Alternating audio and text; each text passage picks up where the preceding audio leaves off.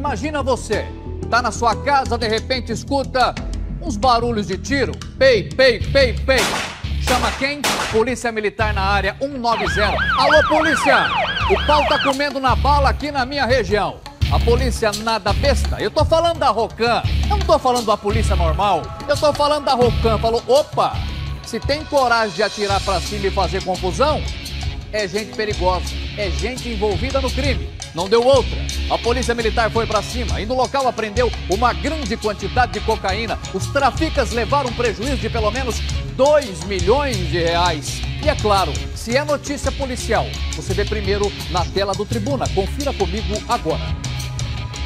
A equipe da RPA Oeste e a equipe da Rocan apreenderam 67 tabletes de cocaína pesando mais de 70 quilos na rua Ariquemes, no bairro Curitibano.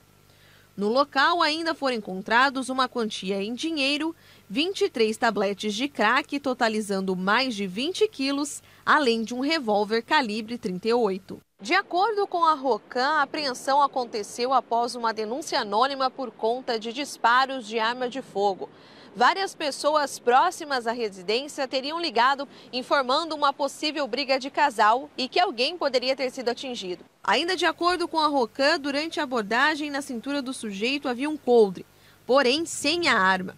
O homem disse que a arma teria sido levada por sua esposa.